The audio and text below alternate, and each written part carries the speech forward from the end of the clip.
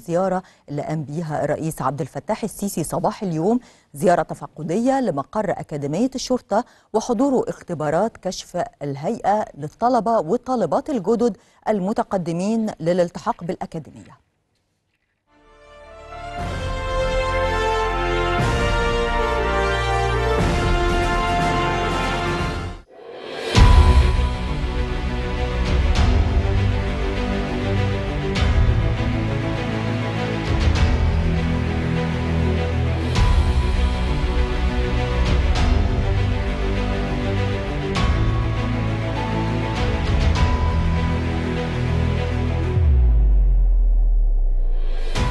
قام السيد الرئيس عبد الفتاح السيسي صباح اليوم بزيارة تفقدية لأكاديمية الشرطة.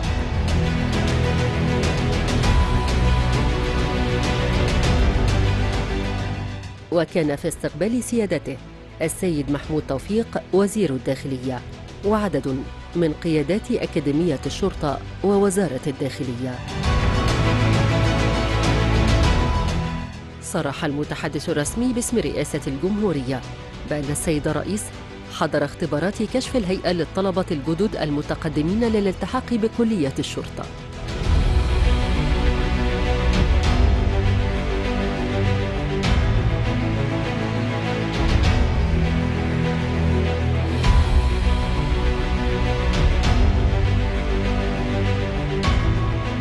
حيث أكد سيادته على أهمية تطبيق المعايير الموضوعية المجردة والحيادية التامة لانتقاء أفضل العناصر وإعداد جيل قادر على حمل رسالة الأمن والوفاء بتطلعات الملقاة عليهم بما يساهم في الانطلاق نحو تحقيق مزيد من الاستقرار والتقدم.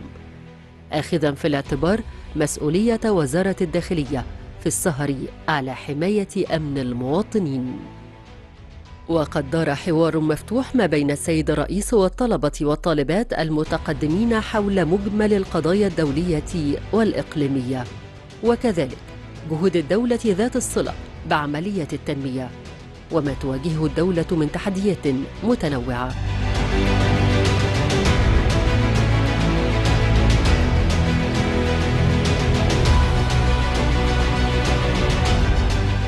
حيث أوصاهم السيد الرئيس بضرورة التسلح بالعلم والمعرفة ومواصلة الاطلاع بانتظام مشددا سيادته على ضرورة أن يكونوا قدوة لجميع أبناء مصر.